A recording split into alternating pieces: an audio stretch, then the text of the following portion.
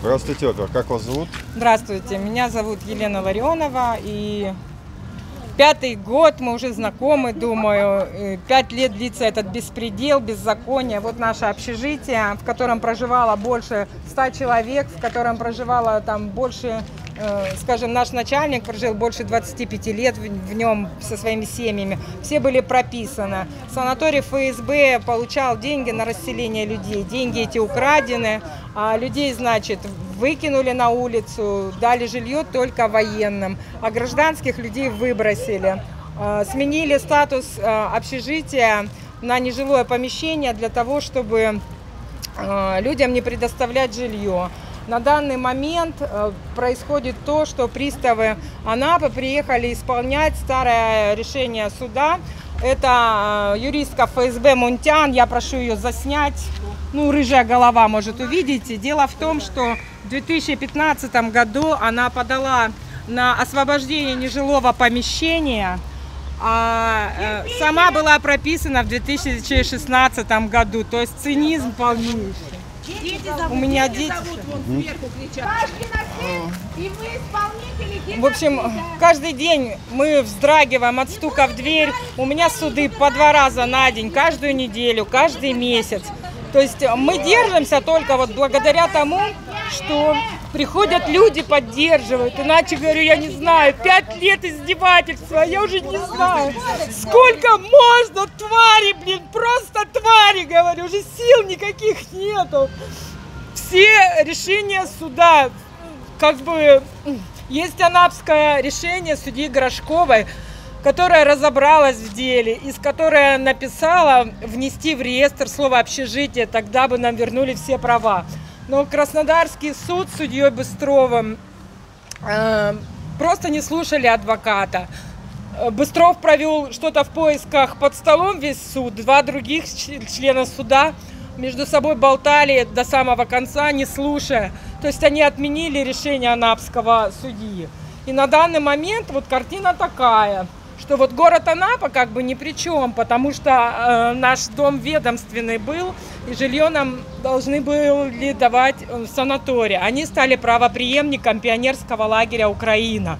То есть не преемником Москвы, не преемником там санатория Москвы или там Дол-1. Они стали правоприемником пионерского лагеря Украина.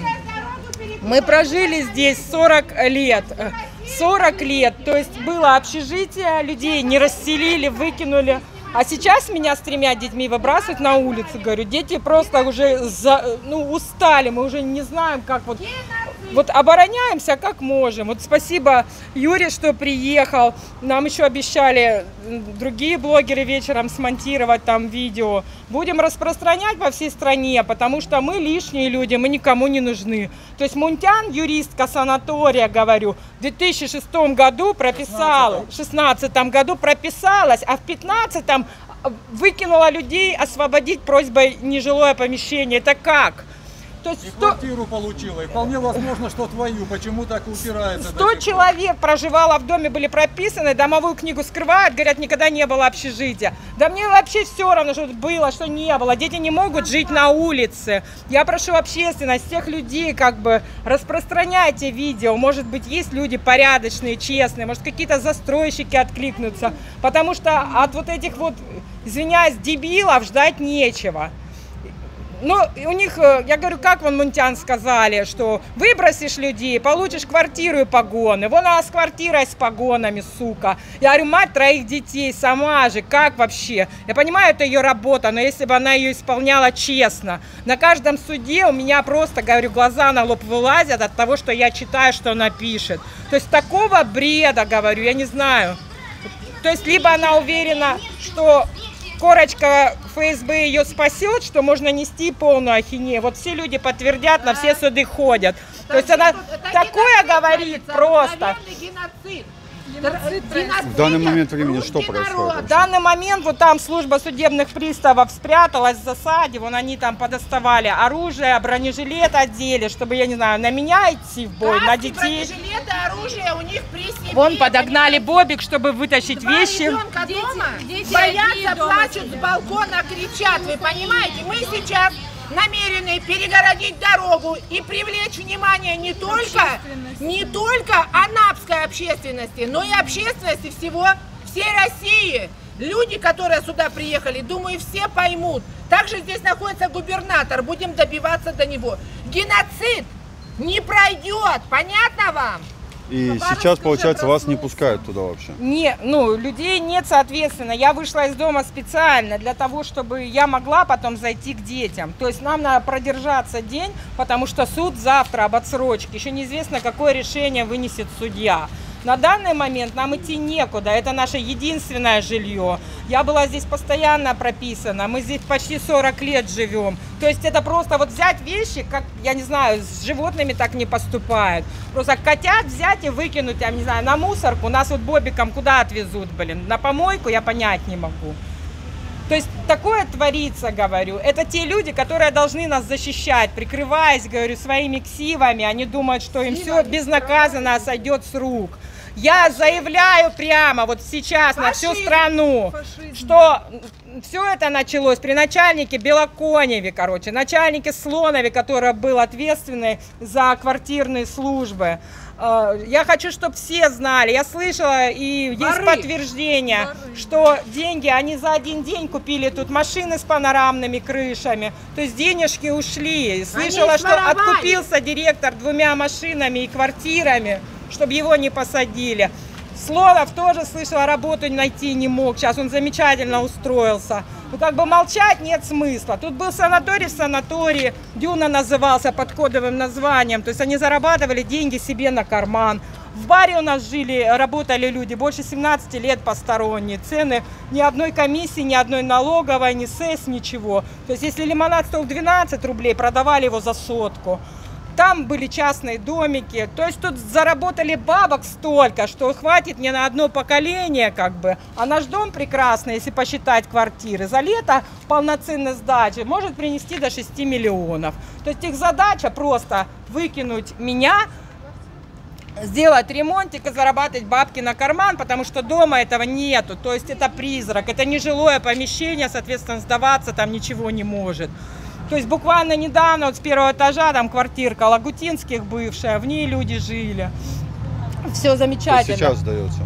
Сейчас, я думаю, там никого нет, но недавно люди в шляпах с зонтиками ходили на пляж. То есть я на четвертом этаже, мне видно. На первом этаже у них находится э, административный корпус, но при этом есть квартира. Далее, самое интересное еще, есть на третьем этаже женщина, которая выиграла все суды всех инстанций, и где сказано, что здание до сих пор является общежитием, и что выселить без предоставления жилья не имеет права. То есть у меня четвертый этаж, двухкомнатная квартира, у нее третья, у нее жилое, а у меня не жилое. То есть такого бреда, говорю. Есть все документы, технический паспорт я достала в БТИ за старые там года. Там есть, что здание жил- жилое, что это общежитие.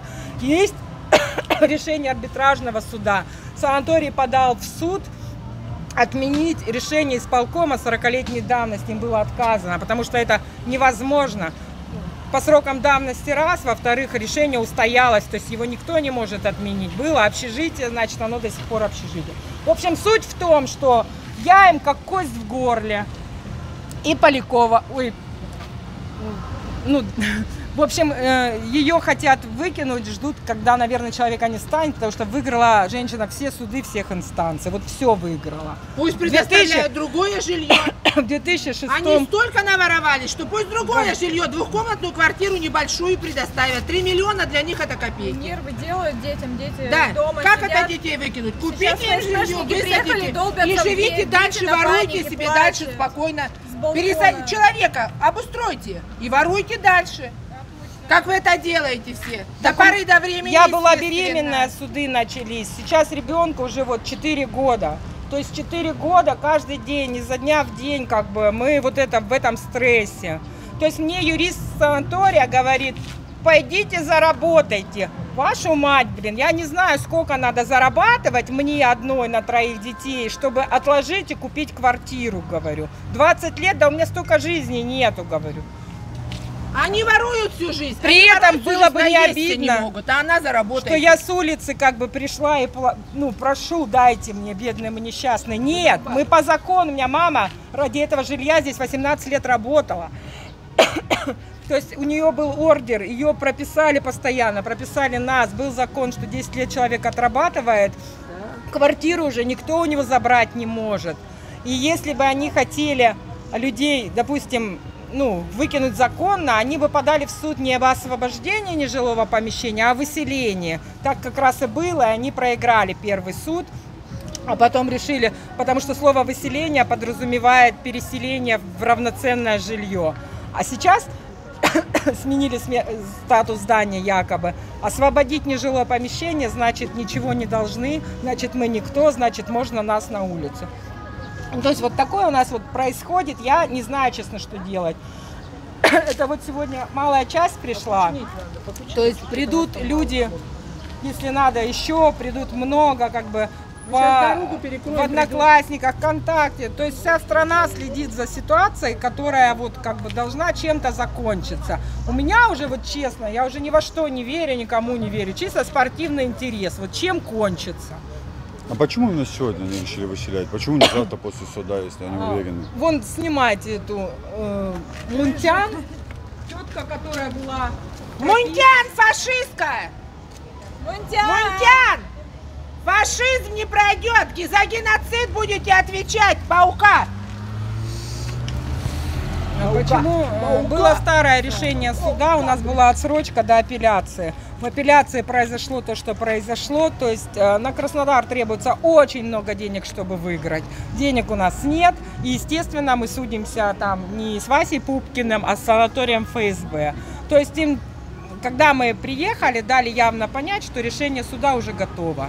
То есть при вот такой куче документов, где мы доказали, что дом жилой, нам просто написали другой ответ. Ждем кассации, как вот я не знаю чего. Надеюсь, что найдутся честные, порядочные судьи. Я не знаю, можно такое говорить? Ну, бывает в наше время. Вот судья Кашкаров молодец, судья Горошкова молодец, анапские судьи. То есть они действительно э, не боятся и выносят справедливые, честные решения. Вот завтра будет суд об отсрочке, на лето хотя бы. Судья Кашкаров, очень надеемся, что ну, поможет детям, потому что стать бомжами мы можем в любое время, как бы отстаивать права, то есть до последнего, как говорится, вздоха. Мы хотим, чтобы нам дали бороться.